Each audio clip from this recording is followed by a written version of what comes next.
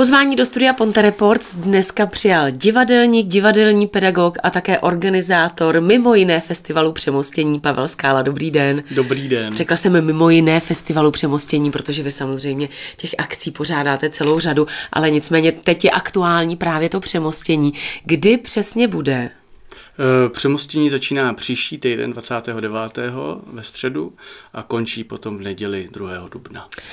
Eh, co je to? Řekli jsme divadelní festival, ale hmm. to je přeci jenom, to je, je to široký pojem, takže budou tam pochopitelně určitě divadelní představení, ale budou tam hmm. třeba i nějaké workshopy, besedy, nebo co všechno je součástí divadelní? No já bych řekl, že to je nejen divadelní festival, protože uh, se snažíme právě v Mostě rozvířit různé debaty, takže tam bude spoustu diskuzí veřejných, Eh, potom tam bude nějaký jamování, co se týká nějaký hudby, ale jinak tam bude samozřejmě eh, základ toho všeho jsou divadelní představení, který eh, spadají pod přehlídkový systém Nipos Artama, což je postupový systém, takže tady jsou vlastně čtyři krajské postupové přehlídky, a který můžou potom směřovat na národní přehlídky na divadelní piknik v Volině, Mladá scéna, Šrámkův písek a Popelka Rakovník.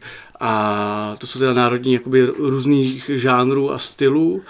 A potom teda máme ještě další část a to jsou představení pro školy, kde se snažíme školy nalákat na kvalitní divadla, nebo který my vnímáme jako kvalitní. Tak. Vy jste hned v tom úvodu řekl, no tak jako tady jsme v tom mostě, takže jako ty besedy a tak, o čem se tak jako beseduje? No, my se snažíme vždycky zvát jako různý zajímavý lidi. Eh, vy, mimo... Všechno se to týká divadla? Ne, ne, ne, rozhodně ne. My tam máme, teďka tam máme eh, třeba Jirka vysvětluje věci, což je Jiří Buríšek, který eh, dělá, má svůj YouTube kanál, který Jirka vysvětluje věci což doporučuji si, a u mladých je vlastně docela populární, tak to si myslím, že bude velice zajímavá diskuze. Pak tam budeme mít třeba diskuzi, která je úplně jako, eh, se týká kultury, ale vlastně eh, no, která se bude týkat financování kultury, živý kultury, proč by se měla financovat, jak vlastně ty organizátoři, eh, jak ty organizátoři vlastně jakoby k tomu přistupují a jak to je placený, tak tam se bude účastnit třeba paní eh, od Ministerstva kultury nebo právě z toho Nipos Artama, eh, Simona Bezoušková, bude tam Saša Števková, která je za Aitajatu na Slovensku, a nebo tam bude třeba Jirka Řeha, který je náměstek Ústeckého kraje pro kulturu a cestovní ruch kulturu a památkou péči, pardon. A potom tam budeme mít diskuzi třeba Ukrajina dnes a Eh, včera a dnes, což tam bude Tomáš Dvořák, který monitoruje každý den vlastně od začátku té války eh, dění na Ukrajině. A ještě k tomu tam bude teda Šimon Stiburek, který u nás na festivalu byl s představením War in Progress před lety, eh, který se věnovalo právě, když Eh, došlo k anexi Krymu a oni jeli na Donbas vlastně v té době, byli tam měsíc, hráli tam to představení a vlastně to představení se jako by měnilo podle toho, jaký získávali informace a mnoho dalšího, to, to, to bych teďka tady mohl mluvit hodiny a hodiny. Já jsem třeba o tom mluvit nechtěla, ale zase, když už jste to takhle nakousnul, tak eh, vy sám jste, myslím, že to bylo někdy v loňském roce, myslím v březnu, mm-hmm. jste jako dobrovolník odjel právě na Ukrajinu mm-hmm. pomáhat. Co jste tam měl konkrétně dělat a co vám to dalo nebo vzalo? Já, no to je těžký. Eh, bylo to jako roka kousek, ono to vlastně bylo asi týden po, eh, po útoku Ruska na Ukrajinu a já jsem vlastně říkal si, co bych mohl udělat, tak vlastně jsem začal hledat jakoby různý dobrovolnický možnosti nebo co bych mohl udělat, protože jsem tam nechtěl jet na blind a nechtěl jsem tam jet prostě spíš zatěžovat ten systém, tak jsem jakoby hledal možnosti a jel jsem, eh, poprvé jsem měl na hranice, do Ubly, eh, kde, kde, jsme, eh, kde jsme přerozdělovali potom uprchlíky dál jakoby do, do, na, do Čech, případně jako jsme je dávali ještě, nebo posílali potom ještě dál. A tak, tak to, tam jsem vlastně byl týden, kde jsem, to bylo, jako by bylo to šílený, no. A ten začátek byl fakt šílený a vzal mi to hrozně, jako prostě tam byli lidi, kteří, nebo se říkalo, že, že tam jsou lidi, kteří jakoby, uh, takhle, jakoby, to je hrozně složitý a doteďka se mi vlastně o tom jako nemluví úplně lehce, ale my jsme tam měli uh, s tím, že jak jsme je přeroz, uh, přerozdělovali, tak ty lidi byli strašně vyčerpaní. Tady se říkalo, že tam je málo lidí, málo pomocníků. Ono tam bylo hodně lidí, kteří se snažili odvízt těch hranic sem, ale těch lidí, kteří byli na místě, tak jich tam tolik nebylo. A v rámci toho prostě tam bylo spousta lidí na neurolech, prostě hmm. bylo to jako... A hlavně to bylo neorganizovaný, že jo? Já jsem... Ne, my jsme to měli potom organizovaný, tam se potom spolupracoval se slovenským ministerstvem. Hmm. Já jsem, jako tohle to bylo opravdu jako, že se snažili, aby spadali jako pod nějaký systém, protože jakoby těch neorganizovaných lidí tam bylo strašně Moc, moc, že ho tam právě jezdili, oni na to i upozorňovali hlavně, no, no. ti novináři, ať eh, jako nejezdí tam na blind ty lidi. Ano, ano. Že, tak, takže zkrátka uh, mělo to nějaký svůj smysl, proč jste to udělal? Já si myslím, že rozhodně to smysl mělo, rozhodně uh, to bylo uh, složitý, Eh, a myslím si, že jakoby ty lidi, kteří tam byli, jakoby, kteří tam byli, já jsem tam byl jako týden, někteří tam byli prostě do teďka tam, jsou lidi, kteří tam jsou od té doby do teďka, mm. jakoby, kteří tam jezdí uh, koridor UA a takhle jakoby další, další věci, že jezdí přímo na Ukrajinu. Pořád to má smysl jako pomáhat, si myslím. Ano. Tak pojďme zpátky k vám, ano. jako se týče toho uh, festivalu Přemostění. Uh, vy tam máte ten podtitul Co když je to naposledy? No. S otazníkem. Co to znamená? Co, proč co, když je to naposledy? Tak co, když je to naposledy, to je právě... Uh, Pojďme si... si to užít tak, jako by to bylo naposledy, nebo... Ano, ano, jakoby já si myslím, že to má jakoby spoustu nějakých uh, vrstev, jakoby ten uh, podtitul a já si myslím, že je důležité si uvědomovat to, že ty akce, které tady jsou, že vlastně můžou zmizet, že to není jakoby automatický, hmm. že ty lidi, kteří to organizují, a to se netýká jenom nás, ale myslím si, že se to týká vlastně i u vás, když tady děláte představení nebo když tady máte koncerty, tak je vlastně dobrý vědět, že to nemusí být, že to je vlastně e, něco, co e, ty lidi většinou dělají a obzvlášť v té kultuře dělají z dobrovolnické činnosti, protože chtějí něco udělat, chtějí být prospěšní tomu svýmu městu, tak to si myslím, eh, že je důležitý a zároveň teda pojďme si to užít, jako když to je naposledy, tak to mi přijde vlastně jako super a já teda musím říct, že tenhle ročník, ač je 13. tak se mi po dlouhé době organizuje úplně super a mám z toho velkou radost. Takže... Teď jsem se chtěla zeptat, po kolikáte už to organizujete, 13. takže už 13. ročník. No jo, je to 13 let. Dá se třeba spočítat, eh, kolik to bude? Tři dny to bude trvat? Tři, čtyři dny? Pět, pět, pět dní. dokonce, pět dnů. Eh, kolik těch představení v rámci toho festivalu během těch pěti dnů, kolik můžeme vidět? A pro koho je to určený? Je to pro širokou veřejnost?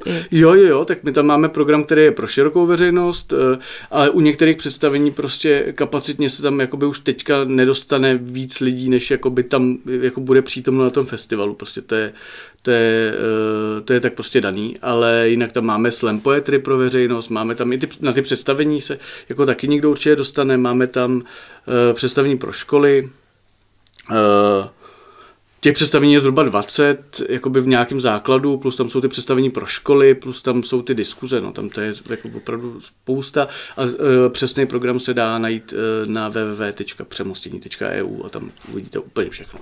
Kde to probíhá? V základní umělecké škole Floriana Leopolda Gasmana, což uh, vlastně uh, spoluorganizuje jakoby uh, Gasmanka a spolek Odevšat. A potom letos konečně, a to si myslím, že je hrozně super a myslím si, že bych jakoby chtěl možná vyzvat jako organizátory všech akcí jako na Mostecku, že by jakoby to propojování je důležitý, ale letos se nám podařilo právě propojit s divadlem rozmanitostí. A to si myslím, že je úplně super.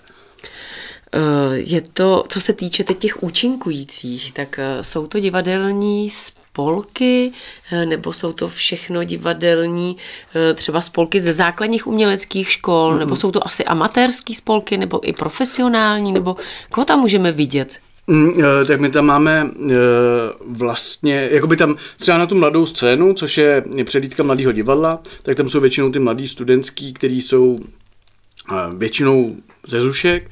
Pak tam máme divadelní piknik Volině, to jsou dospěláci, to jsou prostě jakoby eh, klasický činoherci, amatéři teda.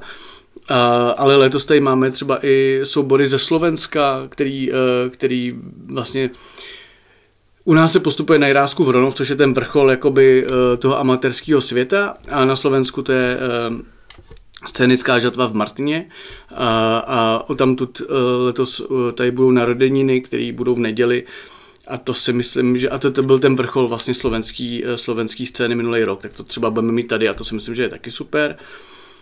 Eh, potom tam je experimentující divadlo, jako já si myslím, že rozhodně to nejsou zušky jenom, eh, ba naopak si myslím, že těch zušek je čím dál tím jako míň, že jich, těch dalších souborů je čím dál tím víc. No. Takhle.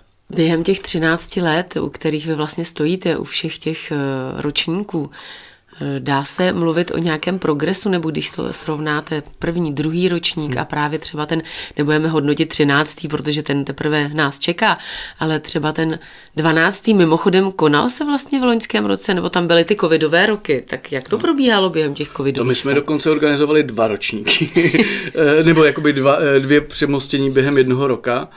Eh, že byla první a druhá část. A protože my, jakoby, jak spadáme po ty postupové přehlídky, tak vlastně tam se vždycky bavilo, jestli ty přehlídky budou nebo nebudou. A my jsme se vždycky snažili víc vstříc eh, a zároveň jsme chtěli to zorganizovat. Takže jsme udělali většinou, to bylo v červnu a potom to bylo na konci eh, prázdnin, že to bylo takový jako ohlédnutí za tím přemostěním. Takže to byly jakoby vždycky dvě části. A progres tam určitě je. Jako myslím si, že my, jak jezdíme hodně s naší Zuškou na, na festivaly různě po, po republice, ale jako i do zahraničí, tak se vždycky snažíme okoukat třeba to, co se nám líbí a potom to přenést eh, a třeba to rozšířit právě jako ten festival o tyhle ty nějaké naše zážitky. Jste říkal, že jezdíte právě do toho zahraničí, kde třeba jako čerpáte nějaké zkušenosti, hmm. nebo to snažíte se to okoukat. Je jiné divadlo, nevím, v Německu, v Polsku, v Itálii, než třeba v Čechách? Jo, já myslím, že 100%. A v čem je to jiné? Já si myslím, že třeba ty, eh, ty Slováci jsou mnohem víc jako mm, živočišnější, eh, nebojí se tolik dát eh, svůj názor jakoby najevo, eh, je drzejší možná to slovenské divadlo, mi přijde. A každý, jakoby já si myslím, že to souvisí s tou náturou každého státu, nebo jako každého toho národa, tak jakoby to, vždycky se to trošku nějakým způsobem liší, ale zase se dá říct, že si myslím, že to amatérské divadlo u nás, jako v Čechách, je unikát a myslím si, že eh, ten systém těch přelídek je vlastně eh, No tak eh, konec konců vlastně loutkáře třeba máme v UNESCO, že? takže to si myslím, že, eh, že hovoří za, eh, za hodně, nebo za, za, za všechno vlastně, no. že, že to naše amatérské divadlo, ten systém, který máme vybudovaný, vlastně je vlastně speciální, vlastně je dobrý.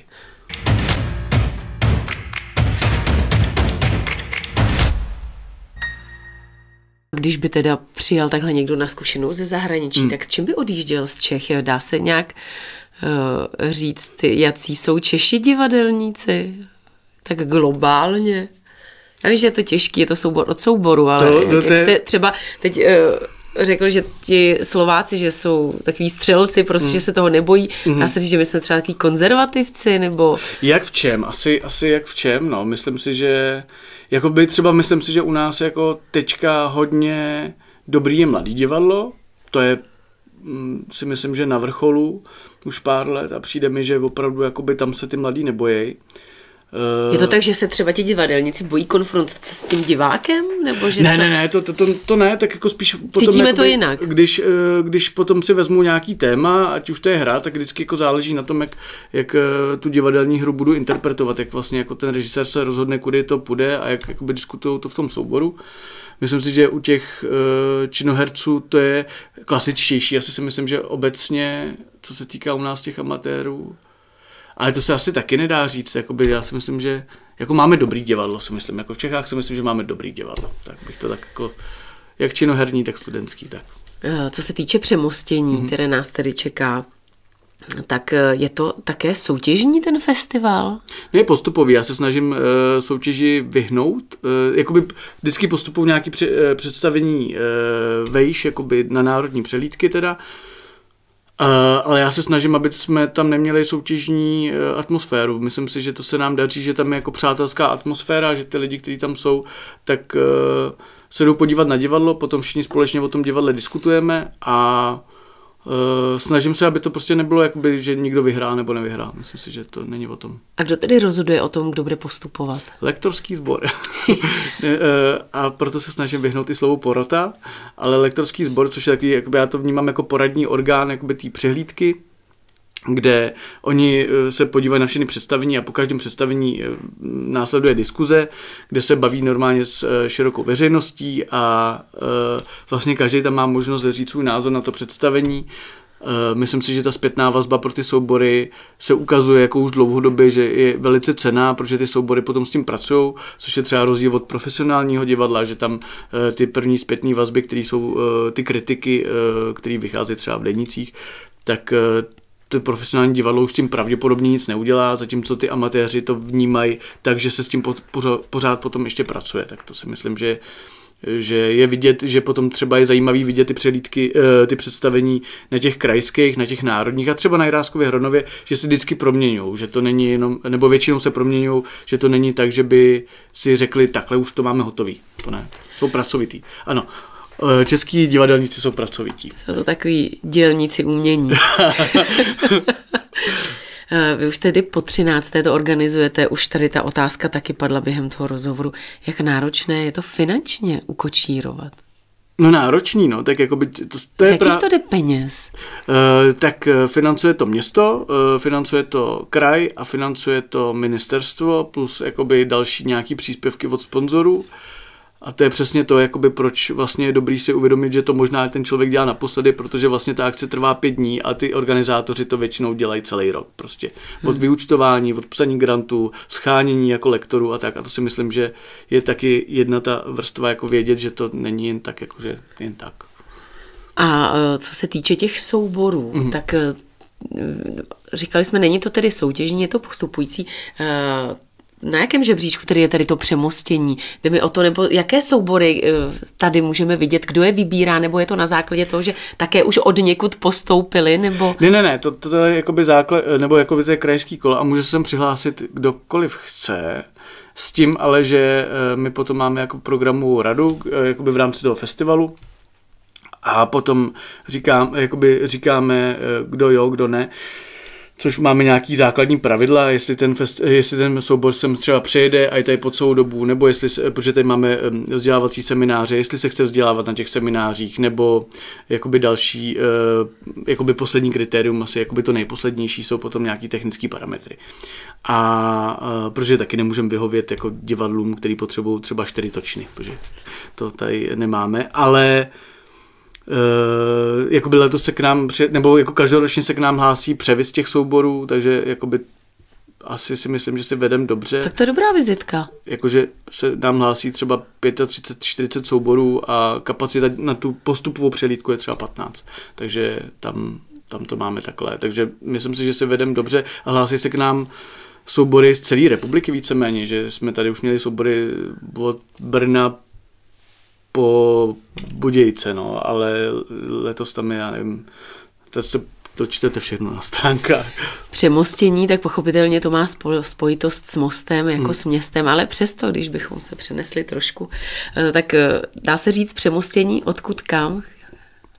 Tak já si myslím, že to je přemostění ke kultuře taky mimo jiné, uh, že, že vlastně jakoby, a to si myslím, že je taky důležitý, že třeba e, na ten festival nám sem jezdí opravdu jako spousta lidí zvenku a vždycky, e, když jsme my jezdili ještě třeba, nebo jako doteďka jezdíme, a teďka už nás vnímají asi jinak, e, ale když jsme začínali jezdit s divadlem jako ze Zušky ven, jakože na různé festivaly, tak vždycky jsme řekli, že jsme z Mostu a, a koukali na nás skrze brejle nějaký a říkali, jo, Most, tak to je to uhlí většinou se řeklo Chánov, Aha. Eh, což si myslím, že se jako mění a ty lidi, kteří sem k nám jezdí na ten festival, tak vlastně jsou potom unešený o tom, jak ten most vypadá. A myslím si, že to je dobře, že to vlastně ty soubory se sem vracejí, chtějí se sem vracet a ten most vlastně si myslím, že některým jako přirost takže jsem jako jezdí i jako diváci, třeba, že jsem nejezdí už ani jako eh, se souborama,